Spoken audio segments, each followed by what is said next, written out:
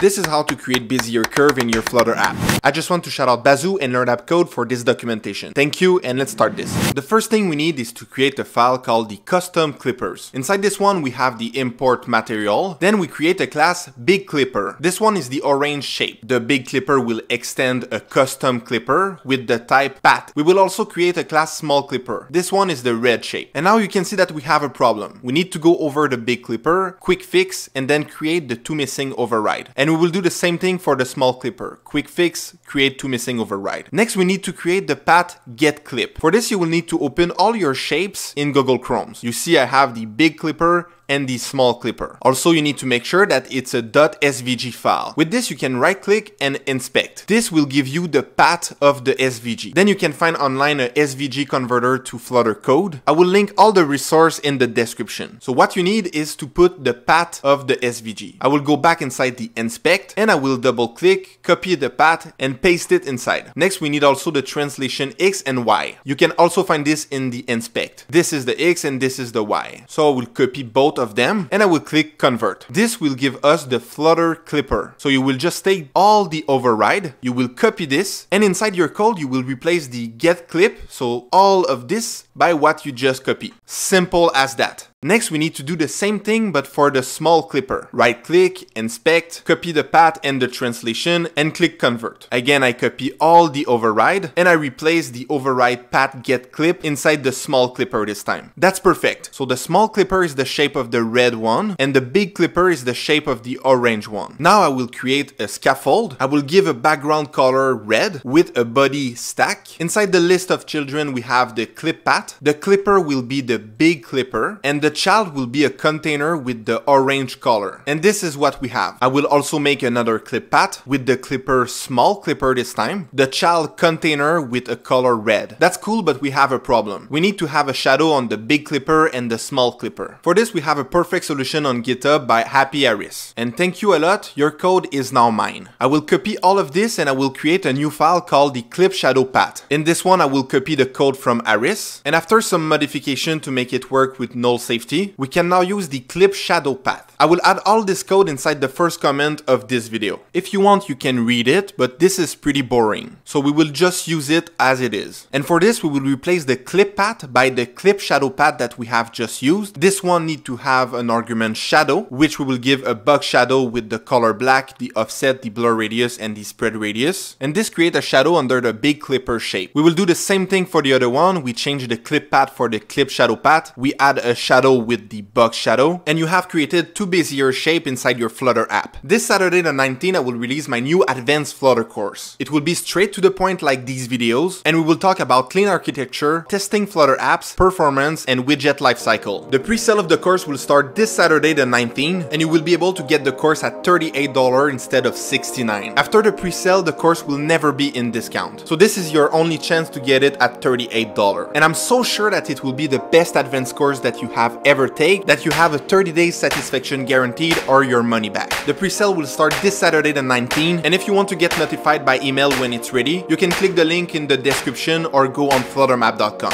YouTube algorithm think you should watch this video next. That's it, thank you for watching, bye.